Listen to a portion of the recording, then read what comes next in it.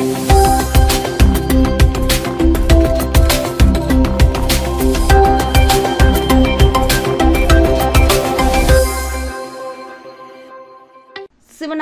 அரசு பள்ளியில் கலை அரங்கம் நடைபெற்றது. கள்ளக்குறிச்சி மாவட்டம் திருக்கோவிலூர் அடுத்த சிவனார்த்தாங்கலில் உள்ள ஊராட்சி ஒன்றிய நடுநிலைப் பள்ளியில் கலை அரங்கம் நடத்தப்பட்டது.